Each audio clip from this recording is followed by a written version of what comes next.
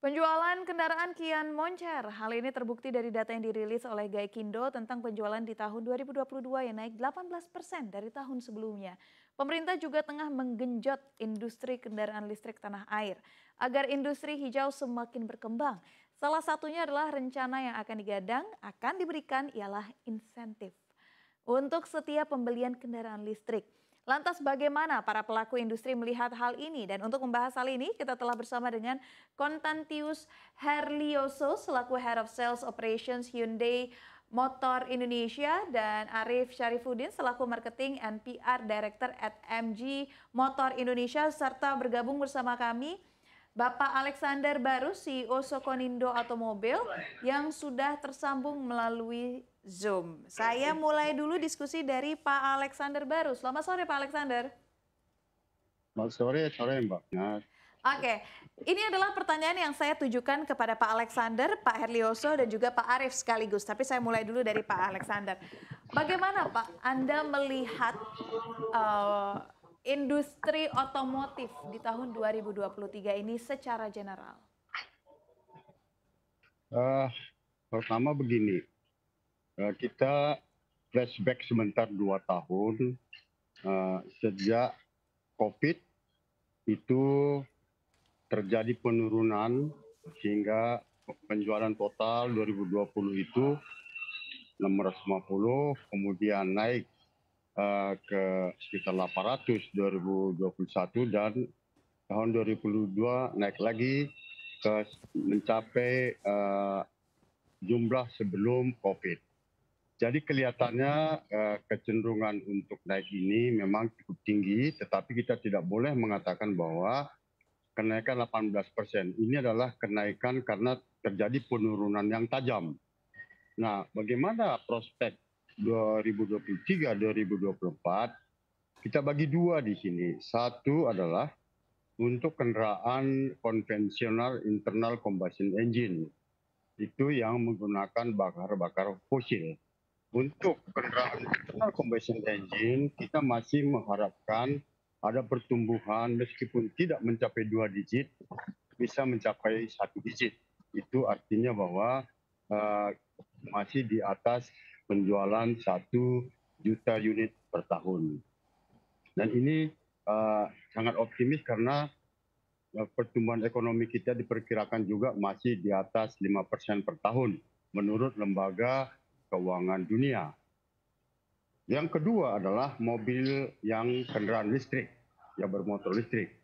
Uh, sejauh ini kita dari penjualan yang ada, porsi untuk kendaraan listrik itu masih sekitar satu persen. Uh, jadi ini memang sesuatu yang sangat kecil.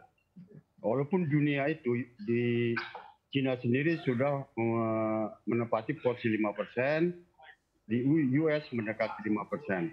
Bagaimana prospek dengan kendaraan listrik ini? Satu hal yang harus kita catat bahwa uh, kendaraan listrik ini adalah suatu yang tidak bisa kita hindarkan ke depan. Inevitable, inevitable dalam pengertian bahwa ini tidak bisa dihindarkan. Nah, bagaimana prospek ke depan? Prospeknya ada dua. Satu, ada dua faktor yang uh, menentukan prospek ini. Satu adalah bagaimana pemerintah memberikan iklim untuk mobil listrik ini agar tumbuh. Baik dia insentif dari sisi uh, fiskal maupun insentif dari sisi infrastruktur itu adalah mengenai terutama mengenai ekosistem untuk sistem charging dan biaya dari PLN untuk per KWH listrik. Itu satu faktor. Faktor kedua adalah bagaimana pendidikan mengenai mobil listrik ini diterima oleh konsumen. Karena konsumen saat ini masih mempertimbangkan, masih tingkat mempertimbangkan. Artinya bahwa uh, baik dari sisi harga, baik biaya operasional maupun keselamatan dan cara mengendarai mobil listrik ini. Jadi dari sisi ini kita memerlukan satu uh, bagian dari edukasi customer education istilahnya, mulai dari baga bagaimana mengenai uh, economic value economic maintenance and operations, dan juga mengenai Baik, resale value nanti. Nah, ini yang perlu kita lihat. Jadi uh, untuk mobil listrik ini prospek ke depan itu sangat bergantung bagaimana pemerintah dan juga bagaimana pemain ini memberikan edukasi kepada uh, customer.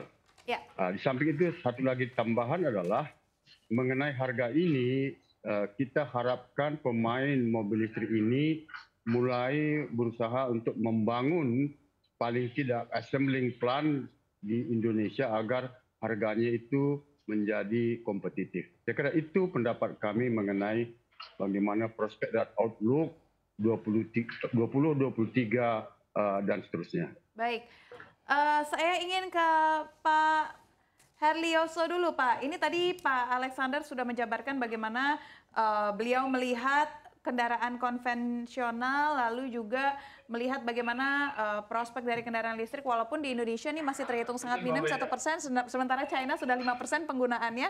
Nah, kalau Bapak sendiri melihat prospek industri otomotif di tahun 2023 seperti apa, Pak?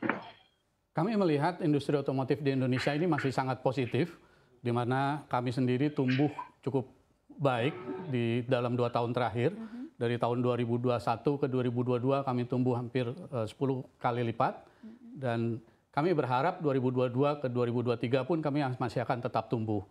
Kita melihat bahwa ekonomi Indonesia pun juga masih sangat uh, menjanjikan, di mana pemerintah memperkirakan pertumbuhan masih di atas 5 persen. Sehingga kami melihat potensi pasar di Indonesia masih sangat besar. Kalau kita bandingkan dengan kepemilikan kendaraan di negara ASEAN yang lain, Indonesia merupakan salah satu yang masih jauh di bawah negara ASEAN seperti Thailand. Yeah. Sehingga potensi yang kita miliki kalau kita ingin sampai seperti Thailand pun kita masih bisa tumbuh 2 sampai 3 kali lipat dari apa yang kita capai di tahun lalu. Hmm, oke, okay. berarti Bapak memang masih optimis melihat uh, 2023 ya karena potensi pasarnya juga memang masih sangat uh, besar bahkan bisa melebihi Thailand. Ya. Kalau dari Pak Arif sendiri bagaimana melihatnya Pak? Ya, kalau dari kami, saya sepaham dengan yang sudah disampaikan oleh rekan-rekan saya sekalian bahwa 2023 ini adalah tahun kebangkitan. Hmm. Artinya apa?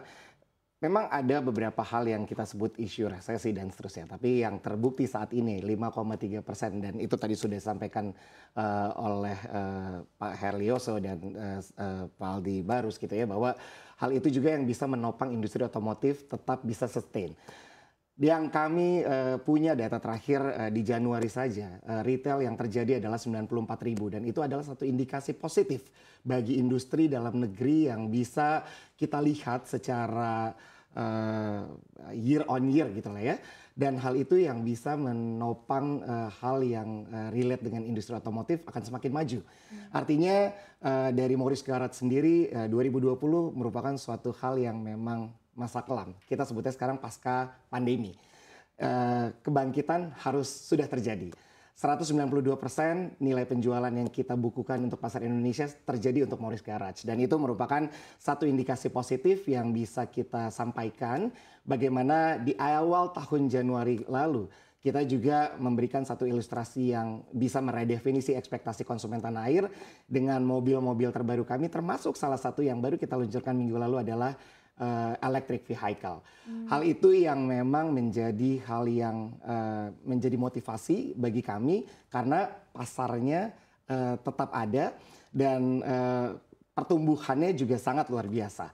Dan hal itu tidak boleh dinafikan. Indonesia benar sekali Pak Herlioso uh, bisa menjadi uh, leading di sisi otomotif apalagi uh, Bapak Presiden kita kemarin sempat juga hadir di Morris Garage untuk langsung me apa ya membuka selubung MG4 electric vehicle yeah. kita itu juga bicara mengenai potensi Indonesia di uh, era globalisasi uh, elektrik uh, di 2023 ini. Ya, baik. Emang kita sudah dengarkan uh, pemirsa bahwa memang pasarnya masih sangat ada. Itulah yang menyebabkan pertumbuhan meskipun di tengah gempuran uh, resesi, ketakutan awan gelap, tapi memang pertumbuhan tersebut masih ada. Dan pemirsa diskusi kita semakin menarik perbincangan pada sore hari ini, namun nampaknya kita harus jeda terlebih dahulu. Automatic Outlook CNBC Indonesia akan kembali usai jeda, jangan ke mana-mana tetap di CNBC Indonesia.